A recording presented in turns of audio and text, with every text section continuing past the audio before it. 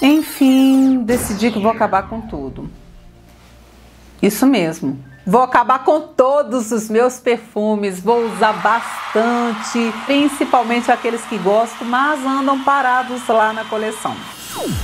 Eu cheguei a essa conclusão recentemente, estava organizando os meus perfumes e vi que boa parte das fragrâncias que lá estavam eu não iria utilizar, né? Eu não sou colecionadora de frascos cheios, eu não sou colecionadora de perfumes por ter.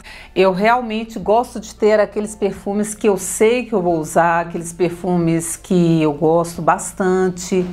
Me incomoda ter perfume parado, eu acho um desperdício você passar por essa vida, manter frascos de perfume fechado. A não ser que você seja, né, um colecionador de perfumes, que goste de ter os frascos pela beleza, né? Mas esse não é o meu objetivo. Eu sou uma pessoa apaixonada por perfumes, mas eu gosto de manter aqueles que são os meus preferidos. Alguns a gente utiliza com a finalidade de trabalho, com a finalidade de comparação, na hora de fazer um teste olfativo, mas a gente passa por fases na vida, né? Um perfume que a gente gosta bastante hoje pode não gostar tanto amanhã. E aí eu decidi desapegar de alguns perfumes, boa parte dos que eu tenho, e já comecei presenteando algumas pessoas que gostam das fragrâncias que eu estou desapegando.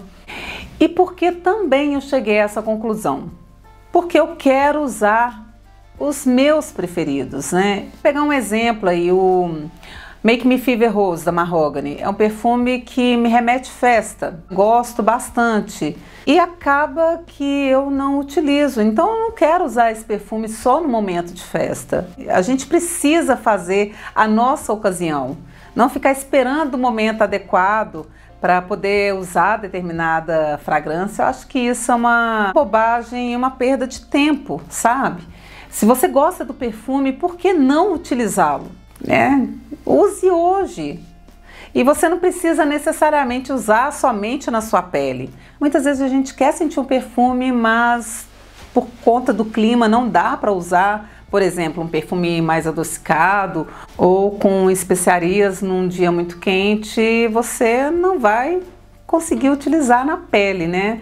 Mas se você tem vontade de sentir o cheiro ou quer aquela nostalgia, então, gente, dá para borrifar no ambiente e você não precisa se entupir de perfume, dá para distribuir pela roupa. Eu faço isso, eu não sigo regra, tá, de não poder aplicar no cabelo. Eu aplico perfume no cabelo, na roupa, no lençol, na cortina. Eu sinceramente não sigo muitas regras da perfumaria. E outro fato que me levou a tomar essa decisão é que eu tenho perfumes lá na coleção que não são os meus preferidos, mas eu também gosto bastante. E aqui eu selecionei quatro dessas fragrâncias que eu quero utilizar, se possível secar o frasco. Eu tô com esse objetivo esse ano de usar mais os perfumes que eu gosto e desapegar daqueles que não gosto tanto. E o primeiro que eu tenho e que estava parado lá na minha coleção há muito tempo é o Linda.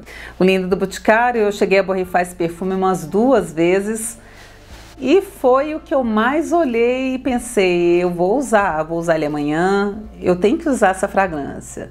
Ah, vou usar depois de amanhã e não usava. O Linda é um floriental frutal, eu sinto essa fragrância bem ambarada, é mais noturna e eu vou usar em noites mais frescas, de preferência.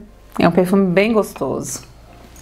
E outro que andava parado lá na minha coleção, que eu gosto bastante, é o Biografia da Natura, o tradicional. Gente, esse perfume é uma delícia, é um floral verde, super versátil. Quem não conhece? Eu acho que todo mundo conhece o Biografia. Ele foi, inclusive, minha assinatura olfativa por muitos anos, na época em que eu tinha poucos perfumes, né? E aqui eu sinto muito lírio do vale, notas verdes, bergamota e gerânio. Então, bora secar o biografia. E outro que andava parado e gosto bastante é o Wild Rose da Mahogany, que delícia! É um chipre floral muito gostoso, traz rosa de maio, rosa turca. Eu sinto essa fragrância bem ambarada. Embora não tenha descrito na pirâmide olfativa, eu sinto aqui o patchouli presente, mas é muito suave, então uma construção belíssima. Ele traz um doçor, sim, mas está na medida. Então é um perfume que é bem agradável, um perfume suave. Nossa, que delícia! Eu pretendo usar mais vezes esse perfume, se possível, secar. E por último, mais adocicado de todos aqui, que andava esquecido também, gosto bastante, é o Lira Deodora. Ele traz em evidência a nota de morango, um morango bem adocicado, com um toque de cereja, e sândalo e musk também, aqui é bem presente. É um perfume muito gostoso, é mais adequado para dias mais frescos, mais frios. E eu pretendo usar mais vezes o Lira, porque é um perfume que eu gosto bastante. Então, nesse vídeo eu trago um incentivo para que você utilize mais os seus perfumes. Muitas vezes a gente fica só adquirindo os lançamentos. É claro que a gente quer conhecer as novas fragrâncias, sempre tem muito lançamento o tempo todo, mas não dá para esquecer aqueles perfumes que a gente gosta, né? E que vão ficando lá para trás. Então, bora trazer para frente os perfumes esquecidos e quem sabe, né, dar de presente aqueles perfumes que você não gosta tanto assim.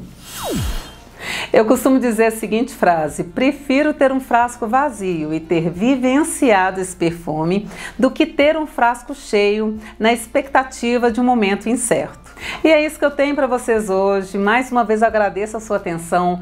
Peço que deixe o seu like, compartilhe o vídeo. Um beijo para todos, fiquem com Deus e até a próxima.